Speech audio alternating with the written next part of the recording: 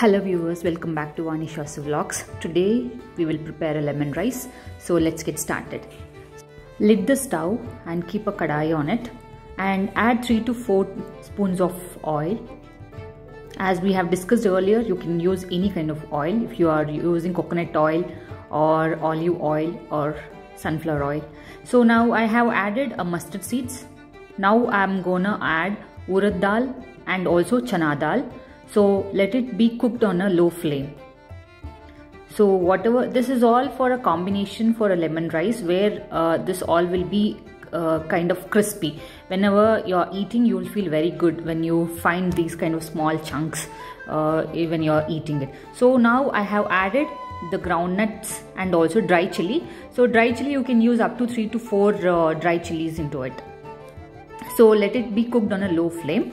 Now i have added a smashed ginger into it.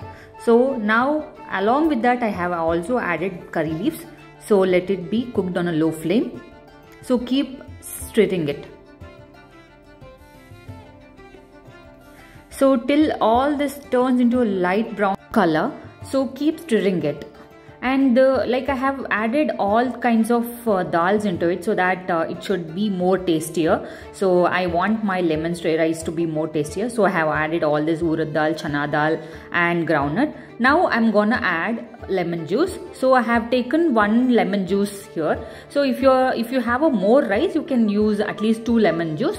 Uh, of, uh, if not you can use one lemon. So now I have added a 3 4 pinch of turmeric powder and I have added the salt according to the taste. So you can use the salt according to your taste and the quantity of the rice.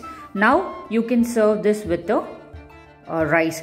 Now at the end you can add the coriander leaves for uh, to be uh, to look more tastier and more colorful. Now the yummy lemon rice uh, gravy is ready. Serve with your family members. Don't forget to subscribe